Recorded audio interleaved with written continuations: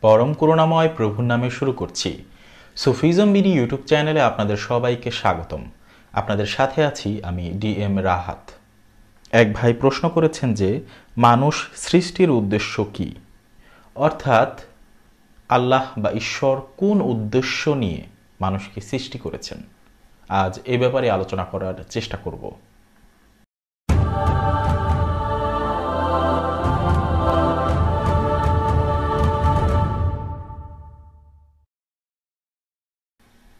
মানব জাতিকে সৃষ্টির আগে আল্লাহ তাআলা অনেক জাতি সৃষ্টি করেছেন। এরকম বর্ণনা আছে। যেমন, জিন জাতিকেও মানব জাতির আগেই সৃষ্টি করা হয়েছে। অর্থাৎ, মানুষকে সৃষ্টির আগেই অনেক জাতি বা প্রাণীকে সৃষ্টি করা হয়েছিল। কিন্তু, আল্লাহ মানুষকে কোন উদ্দেশ্য নিয়ে সৃষ্টি করলেন? অর্থাৎ, এত জাতি সৃষ্টি করলেন মানুষের আগে, তাহলে মানুষকে তো আর সৃষ্টি না করলেও হতো।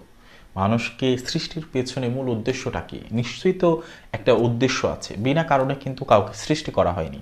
শুধু মানুষকে নয়, যত কিছু আমাদের চোখে পড়ে বা চোখে পড়ে না, সব কিছুই সৃষ্টি করা হয়েছে। এর পেছনে কি? একটি কারণ রয়েছে বা একাধিক কারণ রয়েছে। কারণ ছাড়া কোনো কিছুই কি সৃষ্টি করা হয়নি? এমনি এমনি সৃষ্টি করা হয়নি ফালতু কাজের জন্য। অবশ্যই তার একটা কারণ বা উদ্দেশ্য আছে। ঠিক তেমনি আশরাফুল মাখলুকাত বা সর্বশ্রেষ্ঠ সৃষ্টি এটা সর্বশাস্ত্র এবং ধর্মমতে এই কথা যে মানুষ হচ্ছে সৃষ্টির মধ্যে সর্বশ্রেষ্ঠ। এখন মানুষ কেনই সর্বশ্রেষ্ঠ এবং কেন পূর্বে এত জাতি থাকা সত্ত্বেও মানব জাতিকে সৃষ্টি করা হলো? সাধারণভাবে সবার জন্য এই প্রশ্নের উত্তরে বলা হয়ে থাকে যে আল্লাহ তালা মানুষকে সৃষ্টি করেছেন তার ইবাদতের জন্য। কোরআনে আছে যে আল্লাহ তালা জিন এবং ইনসানকে সৃষ্টি করেছেন তার ইবাদতের জন্য। যেহেতু আল্লাহ কোরআনের মধ্যে কথা বলেছেন যে, মানুষকে ইবাদতের জন্য সৃষ্টি করা হয়েছে বা সাধনা করার জন্য সৃষ্টি করা হয়েছে। ইবাদত সর্বটি আরবি শব্দ। যদি আমরা বাংলায় বলতে যাই বা অন্য ভাষায় বলতে যাই, সেক্ষেত্রে আমরা বলতে পারি যে, সাধনার জন্য সৃষ্টি করা হয়েছে। সমস্ত জাতিকেই কিন্তু সাধনা করার সুযোগ দেওয়া হয়নি। যেমন ফেরেস্তারা কিন্তু সাধনা করতে পারে না। অর্থাৎ তাদের ইবাদত বন্দিগি নেই। তারা তাদের মর্যাদা কি? কমাতে বাড়াতে পারে না। এই সুযোগটা তাদের নেই। অর্থাৎ তাদেরকে যে জন্য সৃষ্টি করা হয়েছে, তারা তার মধ্যেই সীমাবদ্ধ। অনেকটা রবটের মতো। যা বলে তাই করে। এর চেয়ে কম বা বেশি নয়। তাছাড়া পশু পাখি, গাছপালা, অন্যান্য যে সৃষ্টি আছে, সেগুলোও কি ইবাদত করতে পারে না? বরং সেগুলো কি মানুষের কোনো কাজে আসে? কিন্তু মানুষ ইবাদত করতে পারে। অর্থাৎ ইবাদত করে মানুষ তার মর্যাদাকে বাড়াতে পারে। অনেক উচ্চ স্থানে সে উঠতে পারে। আবার কি ইবাদত না করার কারণে বা পাপ করার কারণে কি সে তার স্থান থেকে নেমেও যেতে পারে? যেমন আল্লাহ তালা সোরা তিনের মধ্যে বলেছেন যে, আমি মানুষকে সৃষ্টি করেছি সর্বোত্তম রূপে, অতপর তাকে ফিরিয়ে দিয়েছি সর্বনিকৃষ্টতম স্তরে। অর্থাৎ কি মানুষকে যেমন উঁচুতেও নেওয়া যায়, আবার কি নিচেও নামানো যায়। অর্থাৎ একজন মানুষ সাধনা বলে উপরে উঠতে পারে, আবার কি নিচেও নামতে পারে। আর এটা হচ্ছে তার সাধনা বলে বা ইবাদতের বলে। যে যত ইবাদত বন্দিগি করবে বা ভালো কাজ করবে তার উপর নির্ভর করে। কিন্তু অন্য জাতিগুলো কি? এই সুযোগটা পায় না। এমনকি ফেরেস্তারাও না। এই দিক দিয়ে বিচার করলেও কি? মানুষ সর্বোত্তম। ফেরেস্তাদের চাইতেও কি? মানুষ উত্তম একটি জাতি। কিন্তু প্রশ্ন হলো, আসলেই কি মানুষকে ইবাদতের জন্যই সৃষ্টি করা হয়েছে? এমন কি কোনো জাতি ছিল না যারা ইবাদত করতে পারে? এই প্রশ্নের উত্তর আমরা খুব সহজেই পাই, সেটা হচ্ছে জিন জাতি। জিন জাতি কিন্তু ইবাদত করতে পারত বা তারা এখনও ইবাদত করতে পারে, অর্থাৎ মানুষ এবং জিন, এই দুই জাতিকে ইবাদত করতে পারে। আর মানুষের অনেক আগেই জিন জাতিকে সৃষ্টি করা হয়েছে। যদি ইবাদতের জন্যই মানুষকে সৃষ্টি করার কথা হয়ে থাকে, তাহলে মানুষকে সৃষ্টির প্রয়োজন ছিল না, কারণ জিন জাতি তো ছিল ইবাদতের জন্য। যেহেতু জিন জাতি পূর্বেই ছিল আল্লাহর ইবাদতের জন্য, সেহেতু কি বোঝা যায় যে মানুষকে শুধুমাত্র ইবাদতের জন্য সৃষ্টি করা হয় নাই বা এখানে মূল উদ্দেশ্য ইবাদতটা না। ফেরেস্তাদেরকে বানানো হলো যাদের ইবাদত বন্দিগি নাই, যা বলে তাই করে, এখানে তারা ভালো করে না, মন্দও করে না। একটা জাতি। জিন জাতিকে বানানো হলো, তারা কি ভালো মন্দ করতে পারে, ইবাদত করতে পারে? একটা স্বাধীনতা দেওয়া হলো। আর তাদেরকে সৃষ্টি করা হলো অগ্নি থেকে। কিন্তু দেখা গেল যে না, আল্লাহ তালা মানব জাতিকে সৃষ্টি করলেন। এবং যখন ফেরেস্তাদেরকে বলা হলো যে আমি এমন একটি জাতি সৃষ্টি করব, যারা হবে কি? সবার চাইতে উত্তম। তখন ফেরেস্তারা কি বললেন? যে আল্লাহ, আপনি কি এমন কোনো জাতিকে সৃষ্টি করতে চান যারা আবারও দাঙ্গা হাঙ্গামা করবে? কাদের মতো? মানে জিন জাতির মতো। অর্থাৎ আগের যে জাতি ছিল তাদের মতো রক্তপাত করবে। তখন আল্লাহ বললেন যে, আমি যা জানি তোমরা তা জানো না। তাই বোঝা যায় যে এখানে ইবাদত বিষয়টা মূল নয়। কারণ জিনরা ইবাদত করতে পারতো, কারণ তারা দাঙ্গা ফাসাদ করারও তাদের ক্ষমতা ছিল, অর্থাৎ পাপ করারও তাদের ক্ষমতা ছিল, স্বাধীনতা ছিল। সুতরাং মানুষকে শুধু ভালো মন্দ করতে হবে বা ইবাদত করতে হবে এরকম কোনো কারণে সৃষ্টি করা হয়েছে বলে আমার কোনো ভাবই মনে হয় না। কারণ অনেকে হয়তো বলে থাকেন যে অন্য কোনো জাতিকে তো এই সুযোগ দেওয়া হয় নাই, তাই মানুষকে ইবাদতের জন্য সৃষ্টি করা হয়েছে। কিন্তু তাদেরকে এটাও মাথায় রাখতে হবে যে মানব সৃষ্টির অনেক আগেই কি জিন জাতিকে সৃষ্টি করা হয়েছিল। মানুষের যেরকম স্বভাব, তারা ভালো মন্দ করতে পারে, জিনেরও কিন্তু কি সেই ব্যাপারটা ছিল। তাহলে আল্লাহ তালা কেন মাটি দিয়ে মানুষ তৈরি করলেন? জিনদের অবস্থা এমনও ছিল যে আমরা যাকে মকরুম আবেদ বলি। মকরুম মানে সম্মানিত আবেদ মানে হচ্ছে কি, ইবাদতকারী। সবচাইতে সম্মানিত ইবাদতকারী ছিল কে? আজাজিল, ইবলিশ, শয়তান, যাই বলি। সে আগে শয়তান ছিল না বা অভিশপ্ত ছিল না। সে ইবাদত বন্দেগি করতে করতে করতে করতে ফেরেস্তাদের সর্দার হয়ে যায়। কিন্তু আদম সৃষ্টির পর যখন তাকে সেজদা করতে বলা হয়, তখন সে সেটা করে না। অহংকার করে, তারপরে কি? সে অভিশপ্ত বা শয়তান হয়ে যায়। তার আগে তার নাম শয়তান বা ইবলিশ ছিল না। তো এখান থেকে স্পষ্টভাবে বোঝা যায় যে জিন জাতির কি ছিল? ইবাদত করার যেমন সক্ষমতা ছিল, তেমনি কি? উপরে ওঠার সক্ষমতা ছিল, আবার কি? নিচে নামারও ছিল। যেটা মোটামুটি এখন মানুষেরও আছে। তাহলে আল্লাহ তালা মানব জাতিকে কোন উদ্দেশ্যে সৃষ্টি করলেন? আল্লাহ তালা কোরআনের আরেক জায়গায় বলেছেন, আমি মানুষকে কি প্রতিনিধি হিসেবে সৃষ্টি করব? বা মানুষকে কি এই দুনিয়ার মধ্যে কি আদমকে বানানো হয়েছে কি একজন প্রতিনিধি হিসাবে? খলিফা বা প্রতিনিধি? অর্থাৎ মানুষকে শুধু ইবাদতের জন্য সৃষ্টি করা হয়নি, তাকে একটি বিশেষ মর্যাদা দেওয়া হয়েছে, সেটা হচ্ছে কি? খলিফা, তারা কার খলিফা হবে? তারা আল্লাহর খলিফা, আল্লাহর প্রতিনিধি। জিনদের বেলায় কিন্তু এরকমটা বলা হয়নি ফেরিস্তাদের বেলায় এরকম বলা হয়নি। কিন্তু মানুষের বেলা বলা হয়েছে যে মানুষ আল্লাহর প্রতিনিধি। অর্থাৎ আল্লাহ তালা মানব জাতিকে সৃষ্টি করেছেন এই সমস্ত সৃষ্টির মধ্যে। আল্লাহ তালার পক্ষ থেকে মানুষ আল্লাহর হয়ে প্রতিনিধিত্ব করবেন। এই প্রতিনিধি বিষয়টার প্রতি যদি আমরা একটু গুরুত্ব দিই বা মনোযোগ দিই, তাহলে আমরা বাকি উদ্দেশ্যটাও আস্তে আস্তে বুঝতে পারব। সেটা হচ্ছে এভাবে যে প্রতিনিধি কাকে বানানো হয়। আপনি যদি কাউকে কোথাও প্রতিনিধি হিসেবে পাঠান, তাহলে কাকে পাঠাবেন? আপনার জায়গায় যদি ফ্যামিলিগত বিষয় হয় এখানে, পরিবারের ব্যাপার, তাহলে আপনি না গেলে আপনার ছোট ভাই বা বড় ভাই বা আপনার ছেলে। অর্থাৎ বাবা না গেলে সন্তান যায় অথবা ছোট ভাই, বড় ভাই কেউ যায়। অর্থাৎ কি, তাদের পরিবারের একটা লেভেল আছে যে এই মানুষের বদলে যদি এই মানুষটি যায়, তাহলে কি, তার প্রতিনিধিত্ব হবে। অর্থাৎ কেউ যদি বিয়ের দাওয়াত দেয় সেখানে যদি আপনি না যেতে পারেন, আপনার সন্তানকে পাঠালে হয়ে যাবে। তারা বুঝতে পারবে যে না, সেই পরিবার থেকে একজন এসেছিল। অর্থাৎ সে না আসতে পারল, তার ছেলেকে পাঠিয়েছে। কিন্তু যদি আপনি সেখানে আপনার বাড়ির চাকরকে পাঠান, তাহলে সে কি করবে? সে খুশি তো হবেই না আরও কি রাগ হবে ভেতর ভেতর। অর্থাৎ কি, চাকর আপনার প্রতিনিধিত্ব করতে পারে না। আপনার প্রতিনিধি কি? আপনার সন্তান অথবা আপনার ভাই, বাবা, এই ধরনের মধ্যে থাকবে। অর্থাৎ কি সমান সমান একটা ভাব, যার সাথে কি প্রতিনিধি বানাবেন, তার সাথে আপনার খুব বেশি ওঠানামা থাকবে না। এক কথায়, স্বজাতি বা এক জাতের হতে হবে। যদি কোথাও কোনো মন্ত্রীর দাওয়াত থাকে, সেখানে মন্ত্রী না যেতে পারলে অন্ততপক্ষে সেই মন্ত্রণালয়ের সচিব সেখানে উপস্থিত থাকবেন। ডিসি যেতে না পারলে এডিসি যাবেন। এসপি যদি উপস্থিত থাকতে না পারেন, তাহলে এএসপি উপস্থিত থাকবেন। অন্ততপক্ষে তাদের মধ্যে একটা সমতা থাকবে। এমন না আপনি এসপিকে দাওয়াত করেছেন, সেখানে তিনি একজন হাবিলদারকে পাঠিয়ে দিলেন। না, এরকমটা হবে না। কারণ প্রতিনিধির ব্যাপারটা এরকম যে একটা সমান সমান ভাব থাকবে। তাহলে আল্লাহ তালা এখানে প্রতিনিধির কথা বললেন। যে মানব জাতির কে সৃষ্টি করা হলো কি? প্রতিনিধি হিসাবে, আল্লাহর খলিফা হিসাবে পাঠাবেন দুনিয়াতে। অর্থাৎ ফেরেস্তা বলেন, জিন জাতি বলেন, অন্য যাই আছে সবার উপরে কি? সে আল্লাহর পক্ষ থেকে প্রতিনিধিত্ব করবে। এখন আল্লাহ যদি একজন প্রতিনিধি পাঠান, সে কীরকম প্রতিনিধি পাঠাবেন? ওই যে এসপির সাথে কি হাবিলদার এই ধরনের যাবে? না। আল্লাহর জাতের সাথে কি কোনো সাধারণ, কোনো একটা প্রাণী বা কোনো কিছুকে একটা দিয়ে দিলেই হবে? অবশ্যই না। সে যেহেতু প্রতিনিধি, অবশ্যই সে কি? আল্লাহর সমপরিমাণ হবে না। কিন্তু সে কি? আল্লাহর জাতের সাথে তার মিল থাকবে। অর্থাৎ একই জাতের হবে সে। অর্থাৎ আল্লাহ তালা ইচ্ছা করলেন তার আপন জাত থেকে আরেকটি জাত সৃষ্টি করতে, কারণ তিনি একা ছিলেন। একা একা কি? প্রেম, ভালোবাসা কিছুই হয় না। একা রাজত্ব হয় না। একজনের বিশাল সম্পত্তি, সে একা রাজত্ব করতে পারবে? তার যদি কোনো সৈন্য না থাকে? আবার আপনার অনেক টাকা পয়সা, আপনার পরিবারের কেউই নেই, আপনি একা, আপনার আশেপাশে কোনো বন্ধু বান্ধব নেই। আপনার কেমন লাগবে? স্রষ্টা একা ছিলেন।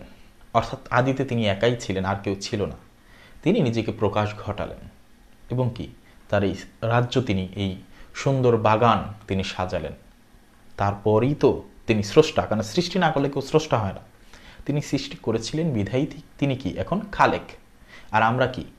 তার সৃষ্টি। তো তিনি মানুষকে প্রতিনিধি বানালেন। সেটা কীভাবে? যে সবাইকে যেভাবে খুশি সেভাবে তিনি বানিয়েছেন, কিন্তু মানব জাতিকে তিনি কি? আপন জাতে সৃষ্টি করেছেন। এ ব্যাপারে তিনি বলেছেন যে, আমি আদমকে আমার আপন শুরুতে সৃষ্টি করেছি। এই কথাটা বাইবেলও আছে, বুখারি শরীফের হাদিসও আছে যে, আদমকে আল্লাহ আপন শুরুতে সৃষ্টি করেছেন। আবার এটাও বলা হয়েছে, তার মধ্যে কি? আল্লাহ তালা তার আপন রুহু হতে রুহুকে ফুৎকার করে দিয়েছেন। অর্থাৎ আদমের মধ্যে যে রুহু, এটা কি আল্লাহর থেকে আসাই একটি রুহু?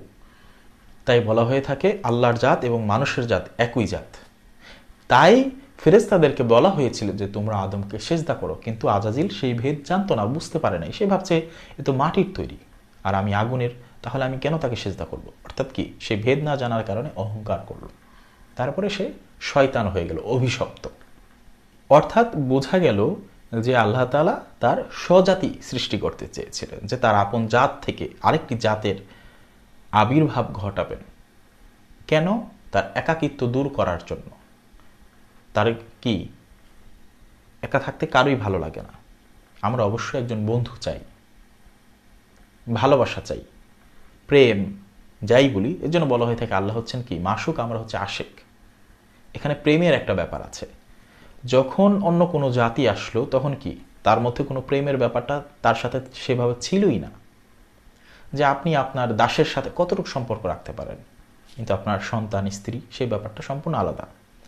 যখন তিনি মানব জাতিকে প্রতিনিধিত্বের জন্য সৃষ্টি করলেন, এটার অন্যতম কারণ ছিল প্রেম।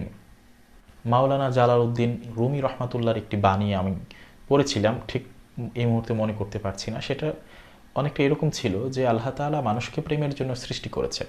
তাছাড়া তার আনুগত্যের জন্য বা এই দাসত্বের জন্য ফেরিস্তার অভাব ছিল না। এখন একাকিত্ব দূরের জন্য প্রেম বা বন্ধুত্বের যে ব্যাপারটা, সেটা অবশ্যই কি স্বজাতির মধ্যেই হতে হবে। প্রেমটা কি আপন জাতির সাথেই হয়? কুকুরের সাথে আপনার প্রেম হবে না। সেটা কি হবে? যে ভালোবাসা, দয়া এই ধরনের মধ্যে। কিন্তু প্রেমের যে ব্যাপারটা, সেটা অবশ্যই মানুষে মানুষে হবে বা আপনার সমতা থাকতে হবে।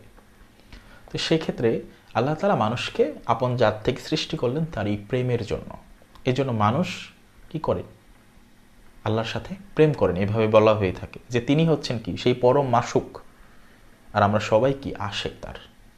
এখন তিনি স্বজাতির সাথে প্রেম বা স্বজাতি সৃষ্টির জন্য আর কি কি করলেন? তিনি তার আপন সুরুত দিলেন, অর্থাৎ তার গঠন দিয়ে দিলেন মানুষকে। তারপর তিনি কি বললেন?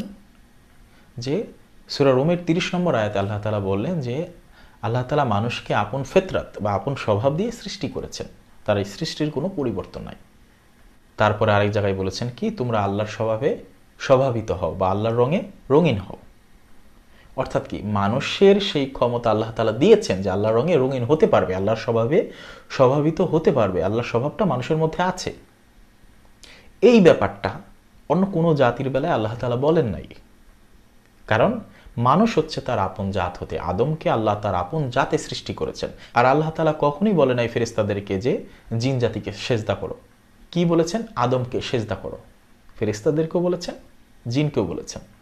অর্থাৎ ওই সময় যারা ছিল সবাইকেই সে বলেছেন। যদিও সেখানে শুধু ফেরিস্তাদের কথা থাকে, তাই অনেকে হয়তো বলেন যে, জিনদেরকে তো বলে নাই, তাহলে কেন বলা হচ্ছে যে আজাজিল হয়ে, শয়তান হয়ে গেছে? কিন্তু কোরআনের সেই পরের আয়াতগুলো দেখলে স্পষ্টই বোঝা যায় যে সে মানা করল। মানা করল মানে কি? তাকে বলা হয়েছিল বিধায়ী তো সে বারণ করল। তা না হলে তো শয়তানই তখন বলতো, আপনি তো ফেরিস্তাদেরকে বলেছেন, আমাকে বলেন নাই। তাহলে আমি কেন সেজদা করব? কিন্তু কথা কিন্তু সেরকম ছিল না। কোরআনে খুব সংক্ষিপ্তভাবে কথা উল্লেখ করা হয়। তাই যারা এটা নিয়ে বাড়াবাড়ি করেন যে জিনকে তো বলাই হয় নাই ফেরেস্তাদেরকে বলা হয়েছে, তারা আসলে একটু অতিপণ্ডিতি দেখায়। কারণ পরের আয়াতগুলো তাকে পড়তে হবে। যদি তাই হতো, তাহলে আপনাকে এত গবেষণা করে বের করতে হতো না যে, আল্লাহ তো ফেরেস্তাদেরকে বলছে, শয়তানকে বলে নাই, তাই শয়তান সেজদা দেয় নাই। তাহলে তো শয়তান সেই কথাটা বলে দিত যে আমাকে তো আপনি বলেন নাই, তাই আমি দেই নাই, কিন্তু সেটা হয় নাই। শয়তান কি করছে? অহংকার করছে এবং সে বলছে, সে মাটির এবং আমি আগুনের। তার মানে কি? শয়তানকেও বলা হয়েছিল, অর্থাৎ আজাজিলকেও বলা হয়েছিল, জিনকেও বলা হয়েছিল। মানুষ এমন একটি জাতি বা আদম এমন একটি জাত ছিল আল্লাহর, যাকে কি? আল্লাহ সেজদা দিতে বলেছিলেন। অর্থাৎ এই পুরো আলোচনার মাধ্যমে আমি এটাই বোঝাতে চাচ্ছি যে আল্লাহ তালার ইচ্ছা ছিল তার স্বজাতি সৃষ্টি করার জন্য। এখানে স্বজাতি মানেই না যে মানুষ আল্লাহ। ব্যাপারটা এইভাবে আমি বলছি না। কিন্তু মাওলানা রুমি বলেছেন, মানুষ ক্ষুধা না, আবার কি? ক্ষুধা হতে জুদাও না। কিন্তু মানুষ ক্ষুধা নয়, সে ক্ষুধা থেকে আলাদা না। যেমন বাপ ছেলে না, ছেলে বাপ না। কিন্তু আবার কি? কেউ কারও থেকে আলাদাও না। কিন্তু মানুষকে তাই বলে আল্লাহ বলার উপায় নেই, কারণ মানুষ আল্লাহ না। কিন্তু আল্লাহর জাত। কেন আল্লাহর জাত? কারণ আল্লাহর চেহারা, আল্লাহর স্বভাব, এগুলো কি মানুষের মধ্যে আল্লাহ দিয়ে দিয়েছেন, নিজেই। এমনকি আল্লাহ এটাও বলেছেন যে মানুষ ইবাদত করতে করতে কি? এমন একটা পর্যায়ে চলে যায়, আমি তার হাত হয়ে যাই, যা দ্বারা কি সে কাজ করে, আমি তার মুখ হয়ে যাই, যা দ্বারা সে কথা বলে। অর্থাৎ কি? সেই ব্যক্তির কথাও আল্লাহর কথা। তো এটি, এগুলো আল্লাহরই কথা। এগুলো আমাদের বানানো কোনো কথা না। তাহলে আলোচনার মূল কথা হচ্ছে যে আল্লাহ তালা তার আপন জাত বা স্বজাতি সৃষ্টি করতে চেয়েছিলেন এই দুনিয়াতে প্রতিনিধিত্ব করানোর জন্য। আর সেটা কেন? সেটা হচ্ছে প্রেমের জন্য। কারণ প্রেম এর জন্য স্বজাতি প্রয়োজন। সে তার বান্দাদেরকে দিয়ে, এটা এমন বান্দা যারা হবে কি তার আশেক। এখানে প্রেমের একটা সম্পর্ক থাকবে তার সাথে, যারা দুনিয়ায় প্রতিনিধিত্ব করবেন তার। এবং কি তার হয়ে প্রতিনিধি কি করে? যার আসার কথা ছিল, তার যে কাজ, সেই কাজটা করে। অর্থাৎ কি, মানুষ আল্লাহর সেই স্বভাব, গুণ ধারণ করে এই জগতের মধ্যে তা কি? বিলাবে তার প্রতিনিধিত্ব করবে। আল্লাহর গুণ কি? রহিম, অর্থাৎ দয়ালু। মানুষ কি দয়ালু হবে? তার দুনিয়া যত সৃষ্টি আছে, তাদের প্রতি কি মানুষ দয়া করবে? হাদিসে স্পষ্টভাবে আছে যে সমগ্র সৃষ্টি জগতের সমস্ত প্রাণী কি? আল্লাহর পরিবারের একজন সদস্য। তাই যে এই দুনিয়াবাসীর উপর রহমত করবে বা দয়া দেখাবে, ভালোবাসা দেখাবে কি? আল্লাহ তালা তার উপর কি দয়া দেখাবেন বা ভালোবাসবেন? তাহলে মানুষের কাজ হচ্ছে কি? করুণা করা, দয়া করা। ক্ষমা করা, জ্ঞান বিতরণ করা, ন্যায় ভাব আনা সবার মধ্যে। যে আল্লাহর যে গুণগুলো আছে, সেই দুনিয়ার মধ্যে থেকে কি করবে? সমস্ত প্রাণীর মধ্যে, সবার মধ্যে কি? সেটা বিলিয়ে দিয়ে যাবে। এগুলো ছাড়াও মানব সৃষ্টির উদ্দেশ্য এবং অনেক রহস্য রয়েছে, যেগুলো আরও গভীর। আপনাকে সেগুলো আপনার গুরুর কাছ থেকে জানতে এবং বুঝতে হবে। সবচেয়ে বড় কথা হচ্ছে আত্ম উপলব্ধি করতে হবে। যেটা গুরুর কাছ থেকে যখন আপনি কোনো জ্ঞান লাভ করবেন, তারপরে সেটা নিয়ে আপনি নিজে গবেষণা করবেন, ধ্যান করবেন, সেখান থেকে মূল বিষয়টা আপনার উপলব্ধিতে আসবে। তো সাধারণভাবে বলা হয়ে থাকে সাধনা বা ইবাদতের কথা। কিন্তু আরও গভীরে গেলে যেটা দেখা যায় সেটা হচ্ছে কি, আল্লাহ তালা প্রতিনিধিত্ব বাকি তার স্বজাতি সৃষ্টির উদ্দেশ্য ছিল প্রেমের জন্য। তাই তিনি মানুষকে সৃষ্টি করেছেন প্রেম দিয়ে এই বিশ্ববাগানকে সাজানোর জন্য। তাই আমাদের সবার উচিত আল্লাহর স্বভাব ধারণ করে, তার প্রেম হৃদয়ে ধারণ করে সেই প্রেম কি সবার মাঝে বিলিয়ে দেওয়া। দয়ময় প্রভু যেন আমাদের সেই সৌভাগ্য দান করেন, যেন আমাদের মন মানসিকতা সেরকম হয় যেন আমরা নিজেরাও কি পরমের আশেক বা প্রেমিক হতে পারি এবং সেই প্রেম মানুষের মাঝে বা সমস্ত সৃষ্টির মাঝে, সমস্ত প্রাণীর মাঝে বিলিয়ে দিতে পারি। আশা করি আপনারা বিষয়টি বুঝতে পেরেছেন। তারপরেও যদি কেউ না বুঝে থাকেন, মন্তব্য করবেন, আমি অন্য কোনো ভিডিওতে সেটা নিয়ে আলোচনা করার চেষ্টা করব। আজ এই পর্যন্তই, ধন্যবাদ সবাইকে।